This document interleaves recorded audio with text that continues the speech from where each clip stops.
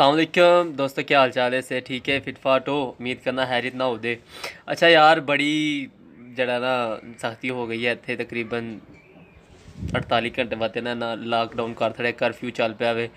कोई बंदा बाहर नहीं निकल सकता टोटल दुकाना बंद ने।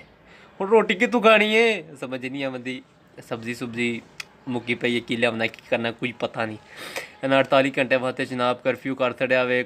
ਕੋਈ ਦੁਕਾਨ ਓਪਨ ਨਹੀਂ ਹੋ ਸਕਦੀ, ਕੋਈ ਕੁਝ ਨਹੀਂ ਕਰ ਸਕਦਾ ਬੰਦਾ। ਘਰਾਂ ਦੇ ਵਿੱਚ ਲਾਕ ਹੋ ਜਾਓ। ਤੁਸੀਂ ਬਾਹਰ ਨਿਕਲੋਗੇ, ਤੁਹਾਨੂੰ ਜੁਰਮਾਨਾ ਹੈ।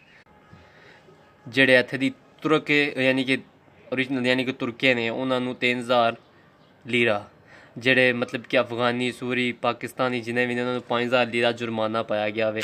ਅਗਰ ਤੁਸੀਂ ਬਾਹਰ ਜਾਂਦੇ ਹੋ, ਤੁਹਾਨੂੰ ਬਾਹਰ ਇਹ ਪੁਲਿਸ ਵਾਲੇ ਫੜ ਲੈਂਦੇ ਨੇ ਤੇ ਜਨਾਬ ਜੁਰਮਾਨਾ ਵੇ। ਬਾਹਰ ਬਹੁਤ ਮੁਸ਼ਕਲ ਹੈ ਅਸੀਂ ਘਰ ਦੇ ਵਿੱਚ ਖੈਦ ਹੋਏ ਆ, ਘਰ ਬੈਠੇ ਆ ਜਨਾਬ ਤੇ ਬਾਹਰ ਨਹੀਂ ਜਾ ਸਕਦੇ। ਬਹੁਤ ਸਖਤੀ ਹੈ ਤੇ ਇਨਸ਼ਾਅੱਲਾ ਹਾਲਾਤ ਬਿਹਤਰ ਹੋ ਜਾਣਦੇ ਇੱਥੇ। ਤੇ ਜਿਹੜੀਆਂ ਇੱਥੇ ਦੀਆਂ ਮਸਲਨ ਕਿ ਜਿੰਨੀਆਂ ਮਤਲਬ ਕਿ ਡੈਥ ਹੋ ਗਈਆਂ ਨੇ ਇੱਥੇ, ਜਿੰਨੇ ਮਰ ਚੁੱਕੇ ਨੇ ਕਰੋਨਾ ਨਾਲ, ਹਜ਼ਾਰ ਤਾਦਾਦ ਹੋ ਗਈ। ਹਜ਼ਾਰ ਤੋਂ ਉੱਤੇ।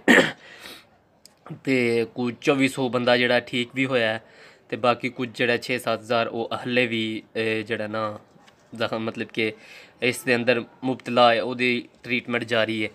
ਤੇ ਇਸ ਵਾਸਤੇ ਸਖਤੀ ਕੀਤੀ ਹੈ ਤੇ ਹਰ ਪਾਸੇ ਜਨਾਬ ਰੋਡਾਂ ਤੇ ਗਲੀਆਂ ਸੜਕਾਂ 'ਚ ਕਰ ਰਹੇ ਨੇ, ਆਪਣਾ ਸਪਰੇਅ ਕਰ ਰਹੇ ਨੇ ਤੇ ਤਾਂ ਕਿ ਹਾਲਾਤ ਬਿਹਤਰ ਹੋ ਜਾਣ।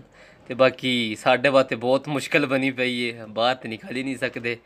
ਤੇ ਸਬਜ਼ੀ ਸੁਬਜ਼ੀ ਲੈਣ ਵਾਸਤੇ ਕੋਈ ਅੱਗੇ ਪਿੱਛੇ ਸਮਾਨ, ਘਰ ਦਾ ਖਾਣ ਪੀਣ, ਰਾਸ਼ਨ ਵਗੈਰਾ ਬਹੁਤ ਹਾਲਾਤ ਟੈਟ ਹੋਏ ਪਏ ਨੇ ਤੇ ਬਾਕੀ ਸਾਡੀ ਬਿਹਤਰੀ ਵਾਸਤੇ ਹੀ ਆਏ ਨੋ ਤੇ ਅੱਛੀ ਗੱਲ ਹੈ ਘਰ ਰਹਿਣਾ ਚਾਹੀਦਾ ਵੇ, ਤੇ ਘਰ ਹੀ ਹਾਂ ਅਸੀਂ ਵੀ। ਕੀ ਕਰ ਸਕਦੇ ਆ? Okay stay home stay lives